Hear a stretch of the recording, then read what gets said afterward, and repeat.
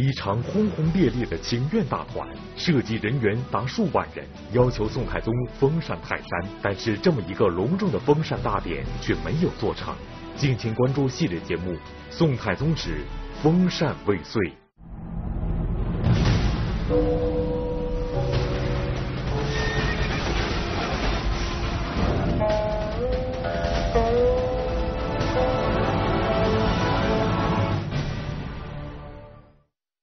从太平兴国六年开始，宋太宗在清理赵廷美、经营储位的过程中，对国家的两个最高部门进行了颇有意味的调整，由此构建了一个新的执政格局。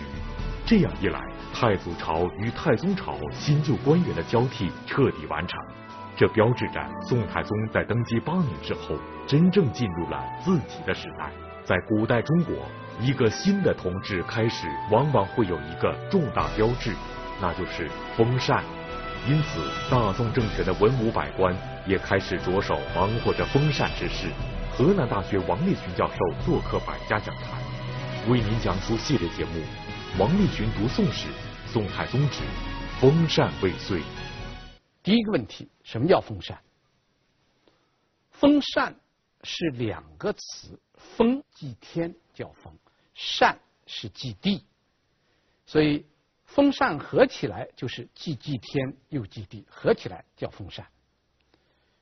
而这个祭天祭地呢，它是一个对于中国古代的帝王来说，它首先是一项宗教活动，同时还是一个政治活动和国家的大典。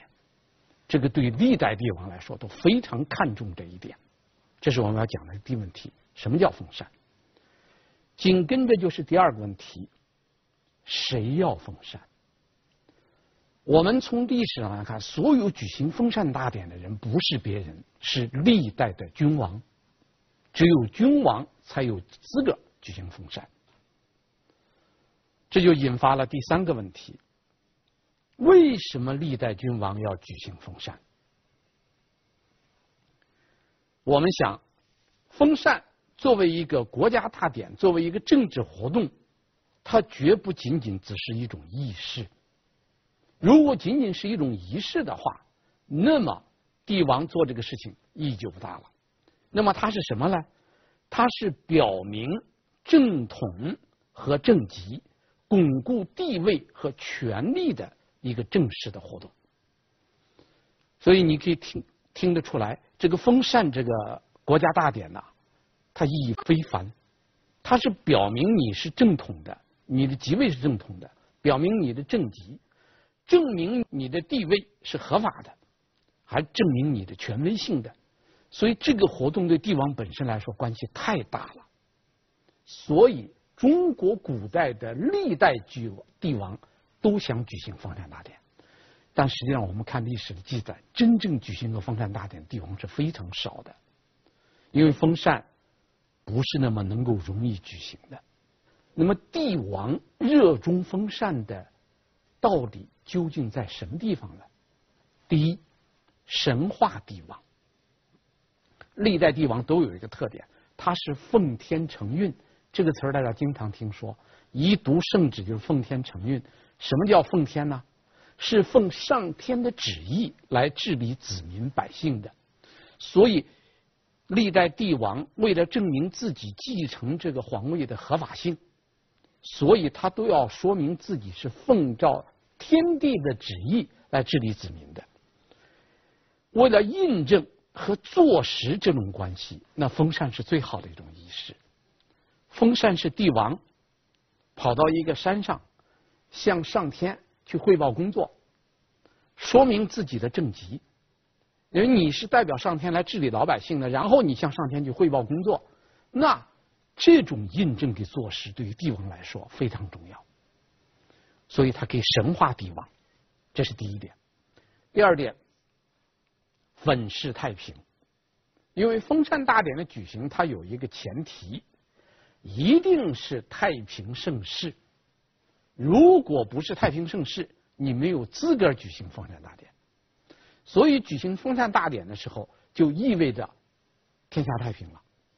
那么，这种大典的举行，对帝王来说，就意味着他生活在一个盛世，他治理的一个盛世，这是一个粉饰太平的一个最好的一个方式。这是第二点。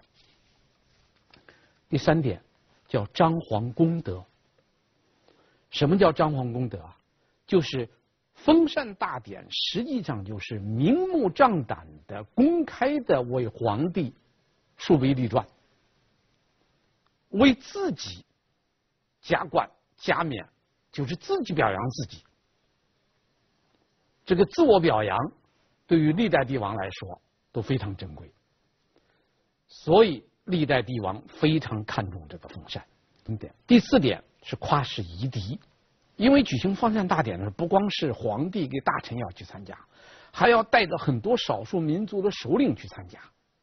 在这样一个大典中间，他要通过这个仪式向少数民族那些首领宣称我是这个中华民族的最高的统治者，你们这些藩邦夷狄都是我们的附属。这是一个宣传正统王朝的一个大好机会，所以封禅大典也可以宣朝宣传王朝的功德，这也是。历代帝王重视封禅的一个原因。第五点，长寿成仙。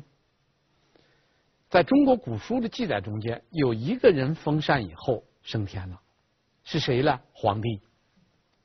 啊，当然这只是一个传说啊。呃，皇帝本身就是一个传说中间的人，但是帝王们都清楚，成仙是很不容易的。那么成仙成不了。那最起码我追求一个什么呢？长寿，长寿是可以追求的。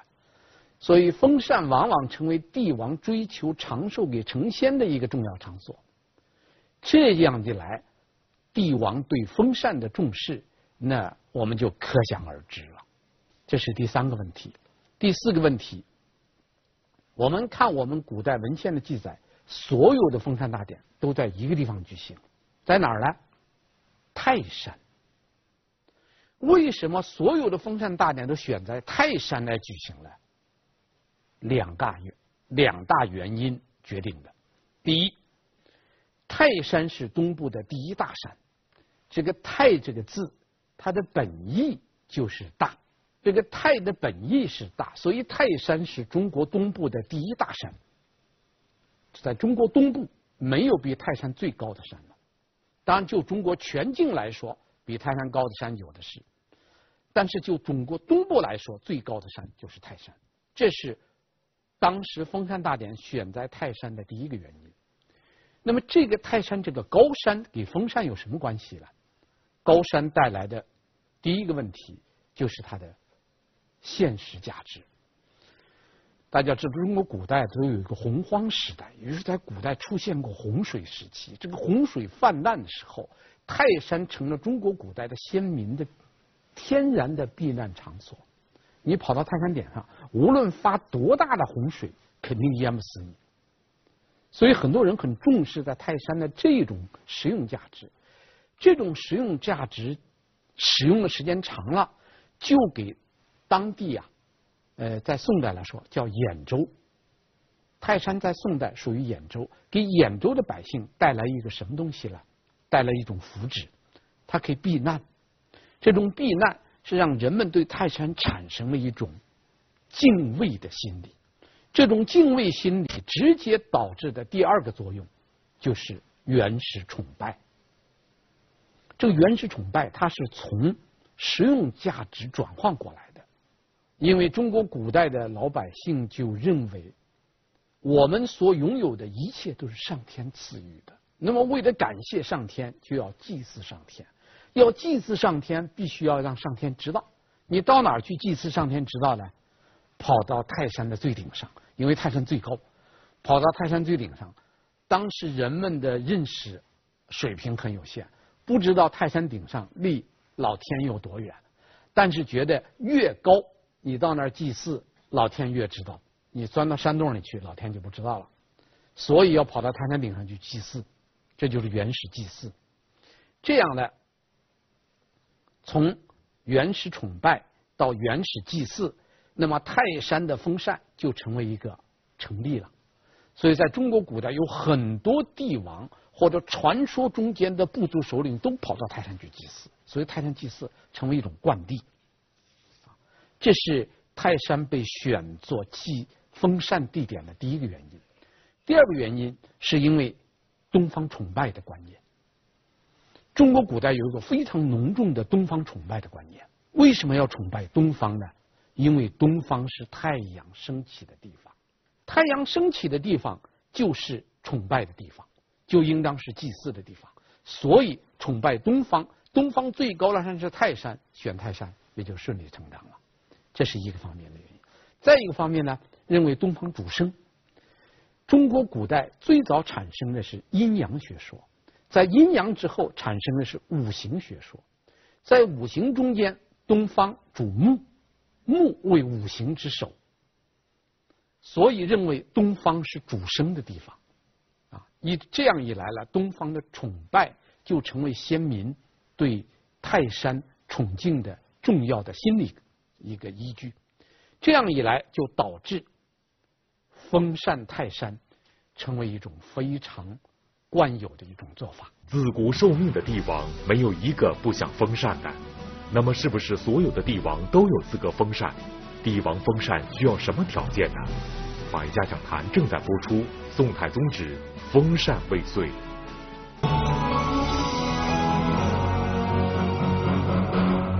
在中国历史上，封禅的帝王有秦始皇、汉武帝。光武帝、唐高宗、唐玄宗等，还有一些帝王想封禅而未果，比如隋文帝、唐太宗等。司马迁说，自古受命的帝王没有一个不想封禅的，但是并不是所有的帝王都有资格封禅。那么，帝王封禅需要什么条件呢？概括起来讲，三大条件：第一，统一，一定是统一天下的帝王。才有资格去泰山封禅。如果说你没有把天下统一，你就不具备泰山封禅的这个资格。第二个条件，兴盛，国家一定要兴盛。如果不是太平盛世，国家不兴盛，你不能没有资格举行。第三个条件叫祥瑞，祥瑞要出现。什么叫祥瑞啊？就是要出现一些。平时看不见的东西，比如说麒麟凤凰出现了，鹤生双苗，就是一个呃，就一根庄稼，比如说一一根麦子上面长了两个穗儿，啊，鹤生双苗，或者说枯木重生，已经死了好多年的一个古树了，又发芽了，所有这一切都叫做祥瑞。古人认为。祥瑞出现，等于是领导肯定你的工作了。领导是谁呀？领导是老天，肯定谁呀？肯定代天统治天下的皇帝。皇帝治理天下治理的好，老天爷要表扬他。老天爷怎么体现自己的意志呢？天生祥瑞，祥瑞出现，那就是老天爷表扬你了。受到表扬了，那么你就有资格去汇报工作了。这就是帝王去封禅的三个重要的条件，这三个条件是缺一不可。宋太宗有资格去玩封禅吗？我们按那三条来看，先看统一。宋太宗经过太祖、太宗两朝把北汉灭掉以后，除了幽云十六州，天下是统一了，所以。这个统一的问题在宋太宗这儿是打了一点折扣的，这个折扣就是幽云十六州没有收复。但是你说没有收复吧，那宋太宗也有个理由，他不是从我手里丢的，他从后晋石敬瑭手里丢的。第二个问题就更难说了，兴盛，什么叫兴盛？我说现在是盛世，那就是盛世；我说不是盛世，它就不是盛世。这个指标比较软。好认定。第三个指标祥瑞，祥瑞的问题更好办，只要你想要有，什么时候都有。我们现在看文献记载，就在宋太宗宣布封禅泰山的前后这一两年之内，各地报上来的祥瑞呀，多如牛毛，到处都是报告出现祥瑞。所以宋太宗够不够资格？按这三条来看，统一、兴盛、祥瑞这三条来看，说够也够，说不够也不够。但是谁说了算呢？皇上说了算。皇上说够了，那就够了。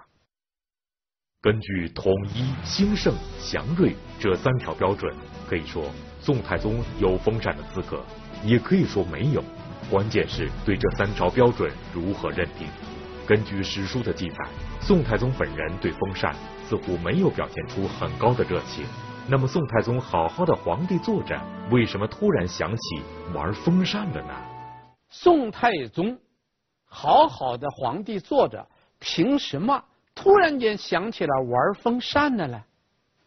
我们根据现有的文献记载来看，大概有两个方面的原因，或者说是两个方面的强烈的请求，一个是老百姓的强烈请求，一个是文武百官的强烈请求。这个百姓请愿这件事情啊，文献有记载，太平兴国八年的六月。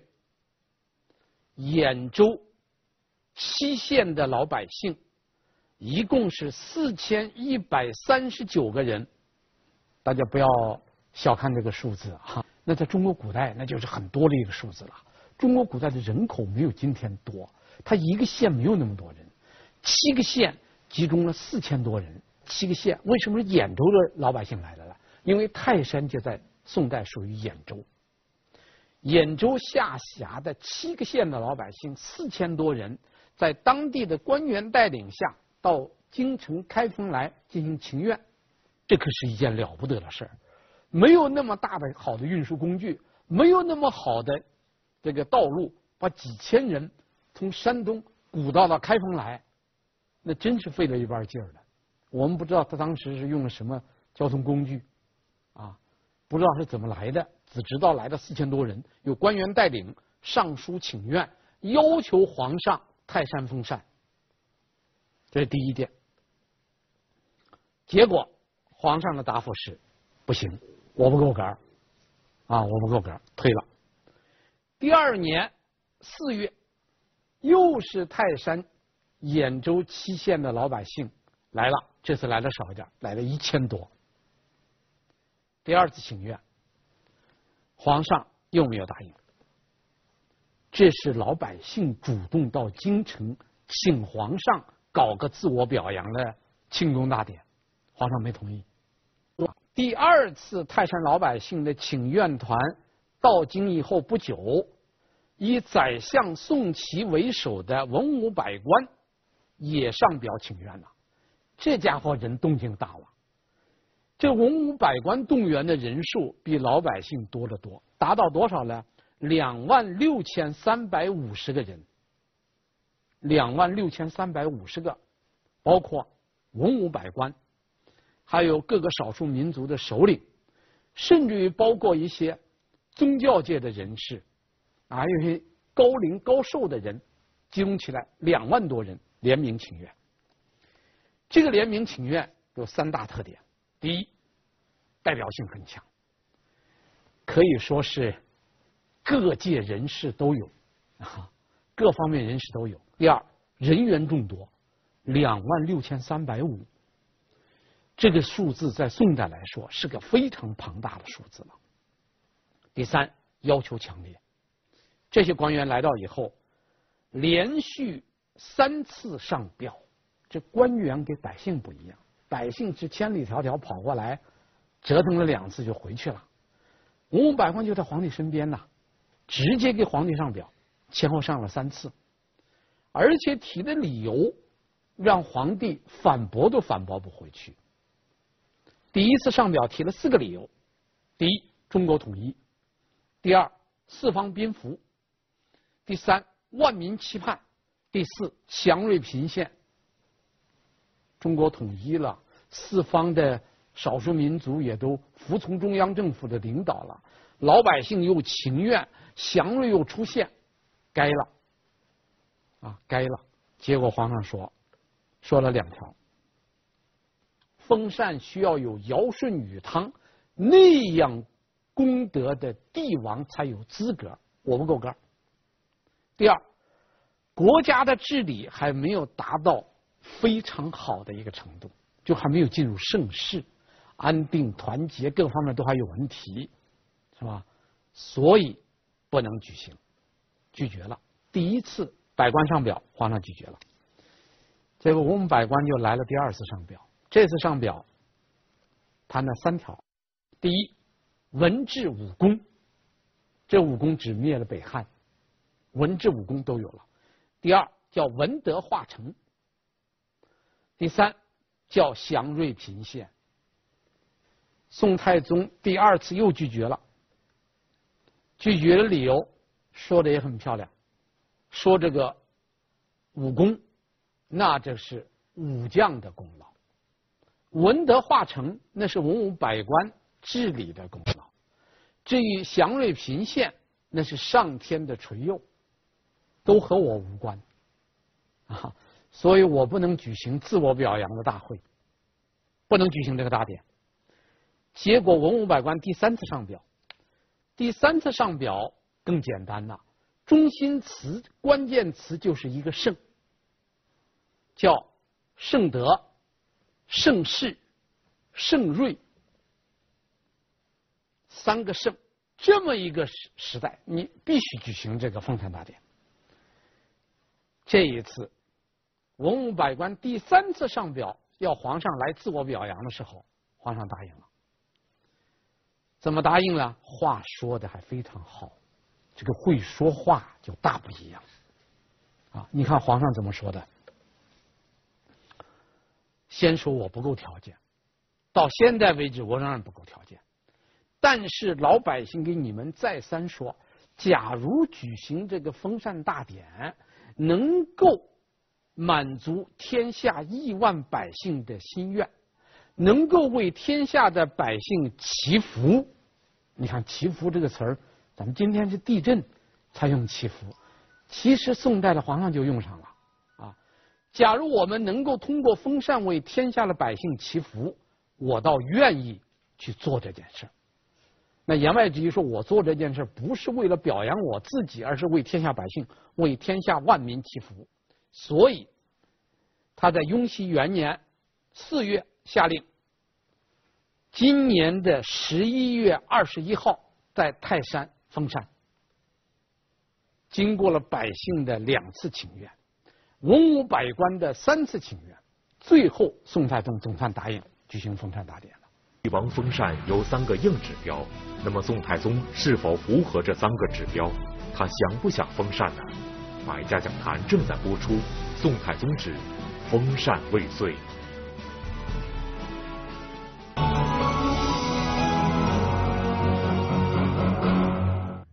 太宗封禅泰山这个问题上，表现出皇帝不急臣民急的状态。泰山百姓两次兴师动众到京师请愿，大臣三次上表，宋太宗最终才勉强同意下诏封禅。在这个过程中，宋太宗表现的似乎很不情愿。那么这是真的吗？我们讲三点，大家就明白了。第一，封禅大典是历代帝王梦寐以求的事儿。其中我们看《史记·封禅书》讲过两句很有名的话：“自古受命帝王何尝不封禅？自古以来，受命于天的帝王没哪一个不愿意举行封禅大典？没有一个。所以说，从秦皇汉武开始，一直到宋太宗，没有一个帝王不愿意举行。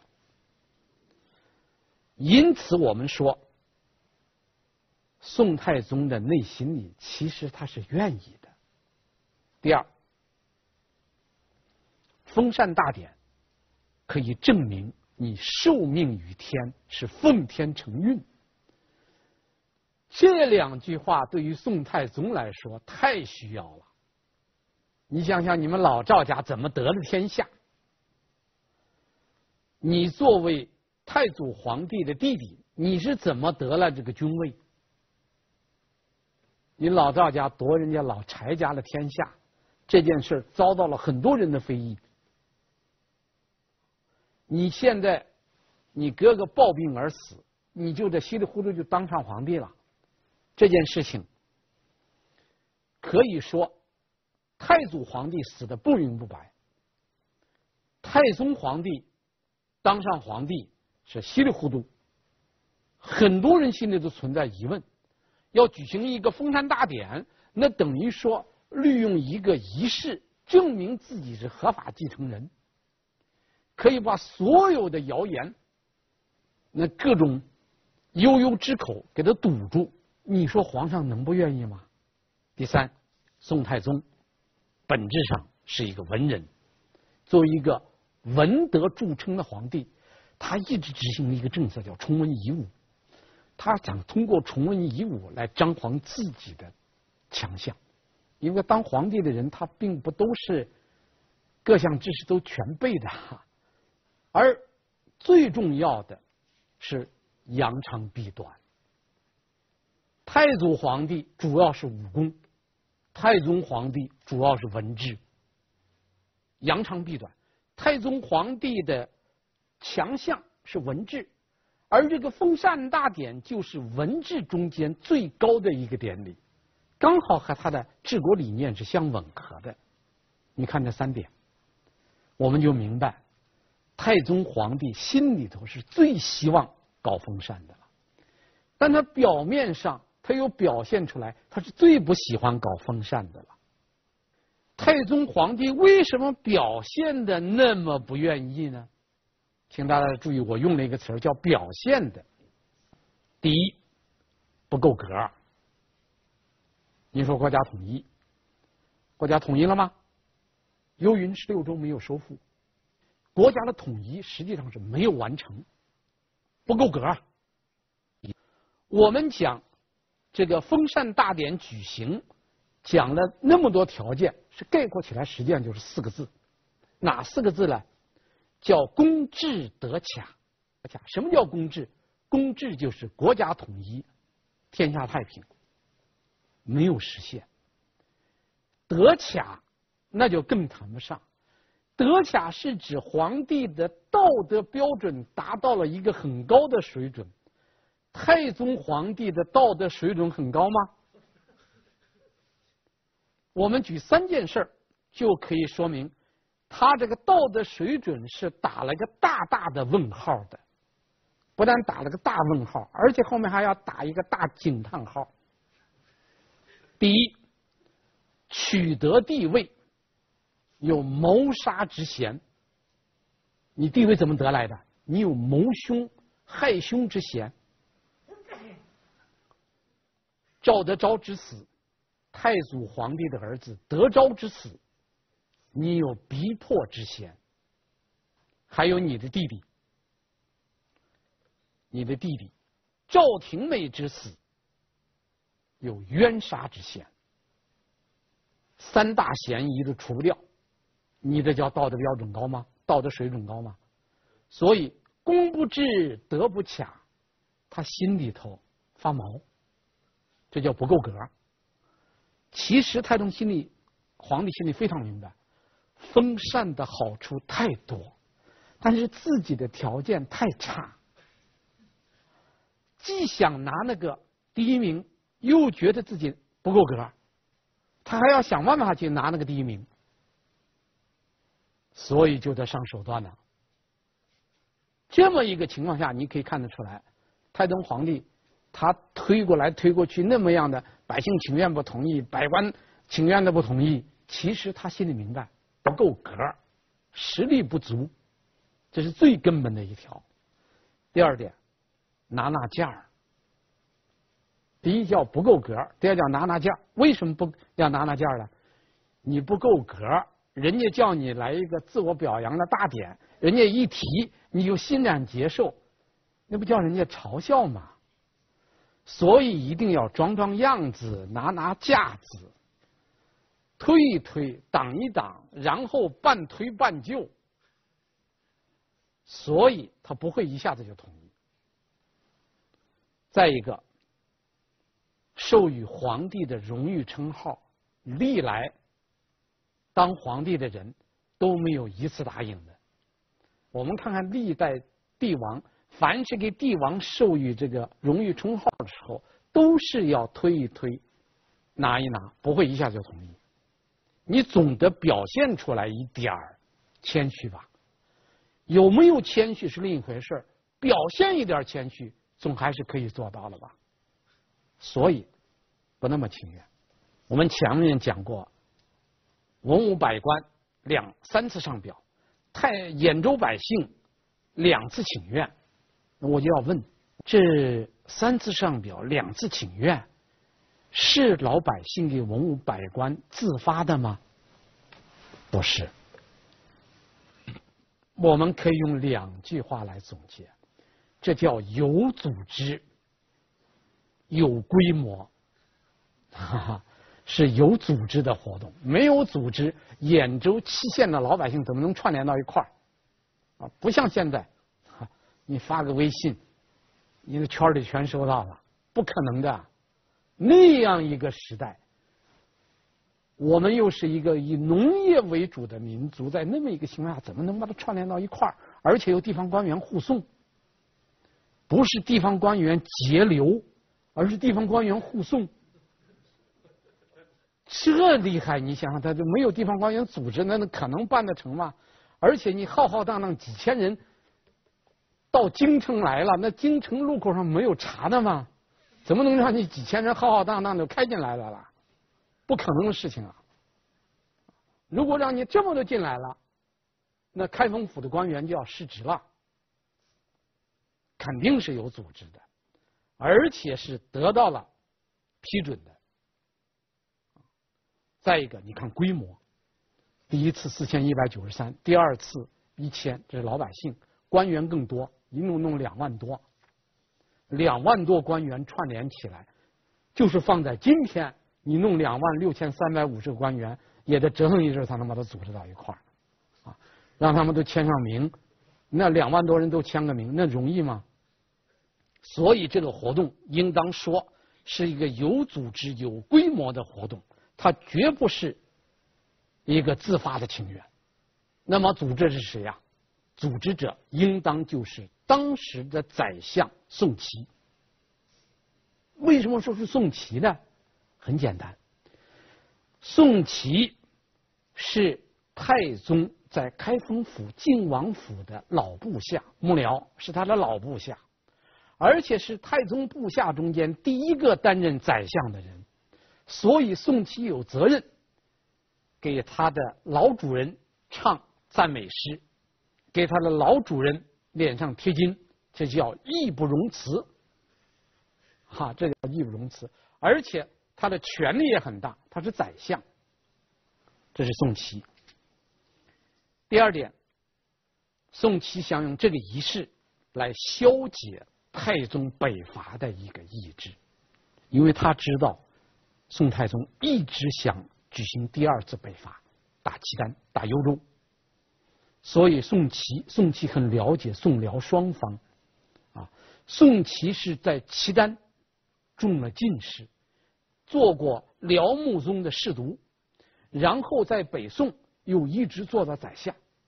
他在辽国给大宋两个敌对的国家中间都做过高官，他对辽宋两国的实力非常了解，可以说他对两国的实力了解是最清楚的。他觉得这个时候要仓促的北伐不合适，所以他想用这个这种大典，把你那个北伐的事儿给你冲一冲。